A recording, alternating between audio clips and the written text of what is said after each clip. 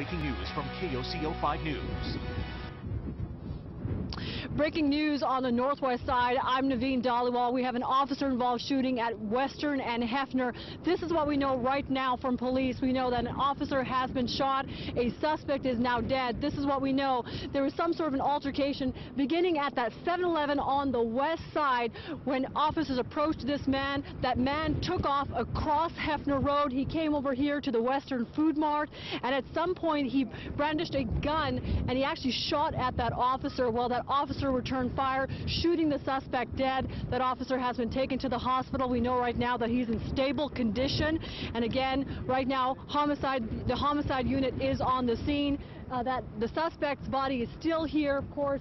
It's over to the side. Um, many officers still here. They're still trying to figure out why the officers had stopped this man and what the situation is. Of course, I'll be out here throughout the day. I'm bringing the very late-breaking details as they become available.